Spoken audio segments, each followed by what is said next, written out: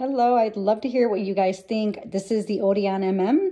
I added the chain from the Over the Moon and the coin pouch along with the adjustable bandoulière strap. It does give this bag a different look. And for me, I wanted something different. So I would love to hear what you guys think. Is this a yay or a nay? Thanks.